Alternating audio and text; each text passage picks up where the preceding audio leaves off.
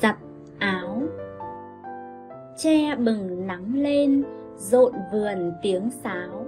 Nắng đẹp nhắc em, giặt quần, giặt áo. Lấy bọt xà phòng, làm đôi găng trắng. Nghìn đốm cầu vồng, tay em lấp lánh. Nắng theo gió bay, trên tre, trên chuối.